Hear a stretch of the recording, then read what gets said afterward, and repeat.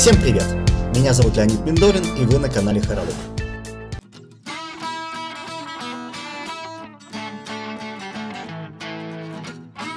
Пятидесятая юбилейная международная выставка ярмарка охоты и рыболовства на Руси проходит с 9 по 12 сентября 2021 года в павильоне номер 3 ЦВК «Экспоцентр». На протяжении 25 лет выставка проходила два раза в год. Сменила площадку, трансформировалась и менялась в соответствии с современными тенденциями.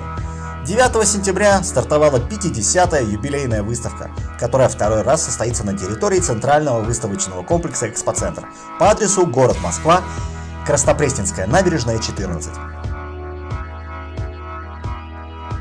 По нашей теме мы лишь скажем, что из 34 компаний, указанных на официальном сайте выставки в разделе «Ножи и аксессуары», нам лично знакомы некоторые, к сожалению, лишь шапошно, именно по ножам следующие комрады и компании. Вы еще можете постараться успеть их посетить. Итак, Кизляр Суприм, стенд 37, Profi Knife, стенд 18, Точилка.про, стенд 1.1, Волчий век, стенд 40, Ворсминский нож, стенды 25 и 39. Златоустовский завод оружейных специализированных сталей, стенд 3. Игорь Юрьевич Пампуха, стенд 19. Кузнец приказчиков, стенд 6. Кузница Коваль, стенды 14 и 53. Кузница Медведь, стенд 24. Кузница Назарова, стенд 32. Кузница Шишулина, стенд 27. Мастерская Семина, стенды 17 и 28. Мастерская Ястреба, стенд 31. Ножевая мастерская Исток, стенд 20. Ножевой двор, стенд 23. Нокс, стенд 16. Русский Булат, стенд 26. Секира Родослава, стенд 30.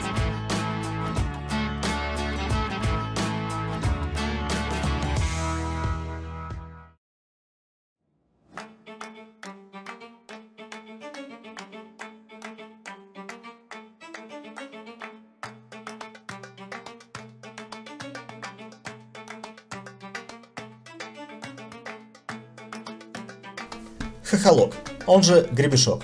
Впрочем, лучше хохолок. На самом деле персидский гребень. Но вот как это точнее перевести, что они имели в виду? Персидские закорючки или ориентального попугая с хохолком? А может оружие персидского воина? Представляем вашему вниманию Person Cresting от Уильям Хенри. Когда Уильям Генри выпускает очередную модель ножа, где-то плачет один ювелир. Сталь сердцевины клинка ZDP-189 или VG-10 в сочетании со слоями нержавейки и никелевого серебра, из которых получилась запатентованная Вильямом Генри волна Дамаска. Титан космического класса, ну это тот, который идет на детальки всяких там Spaceship 2 или скажем SpaceX Dragon, на рукояти и прочих сборных элементах. Инкрустация запорных кнопок топазами. Накладки из яблочного коралла с цинковыми вкраплениями, которые создатели гордо именуют цинковой матрицей. Бедный губка Боб. Она же Милитея или тайваньская коралловая губка. На ножички пошел. Впрочем, эффект хорош, конечно. Благодаря набору всего, что только в природе может быть твердого, нож позиционируют как единственный на всю жизнь. Судите сами.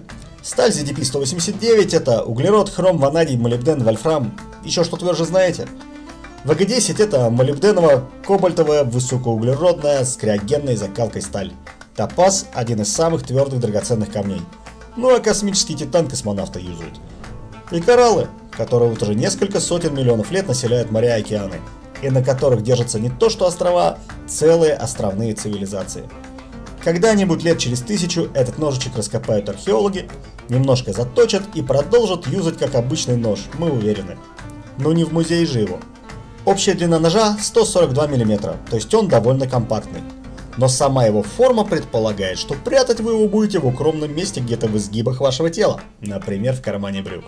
И только темляк с неизменными Вильям Генриевскими бусинами на конце выдаст его местоположение.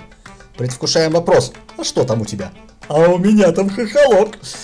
Господи, ну почему ж такое чудо назвали-то так по-дурацки?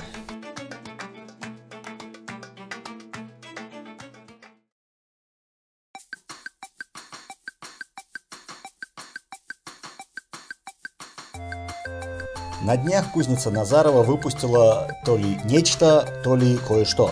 На ум сразу приходят строки классика про ни мышонка, ни лягушку, а В общем, первая, на наш взгляд, тяпка мультитул. Девайс представляет собой небольшой топорик с чехлом, а в рукояти ножевой клинок классической формы и открывашка для бутылок и консервов. Три в одном такое. На вид эстетично. На практике, ну, я хз, будут ли наминать руки, ножик и открывашка при активной работе тяпкой. И не отрежет ли себе человек что-нибудь острым тяпочным лезвием? И не испортит ли одежду и близлежащие вещи, когда будет орудовать ножом или открывашкой? В любом случае изделие визуально интересное, а вот его функциональность только на практике и узнаем.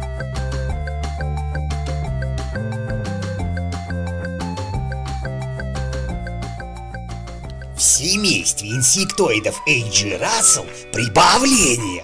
У светлячка появился большой братик, москитный ястреб, он же комар-многоножка.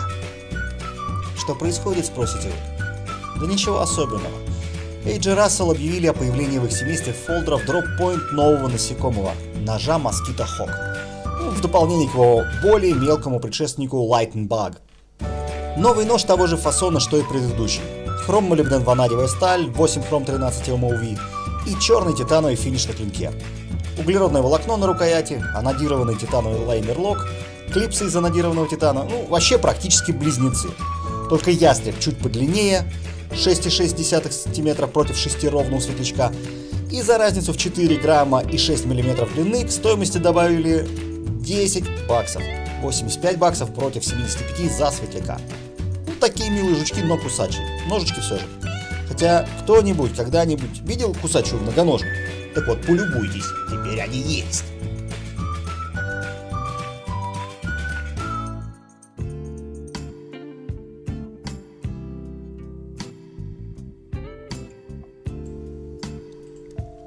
Olamic предлагает вашему вниманию appetizer, даже не так, the appetizer, закуска по-нашему.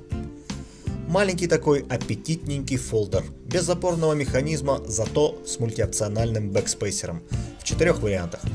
Теплой, уютной отделкой и стандартным, но это они так говорят, для нас же это их фирменный стиль, геометрическим лезвием Spearpoint. Крошка, совсем крошка, всего 10 сантиметров и едва ли 5 сантиметров клинок. Утверждают, что поместится даже в тот самый маленький пятый карманчик на джинсах. А мы-то думали, зачем он нужен.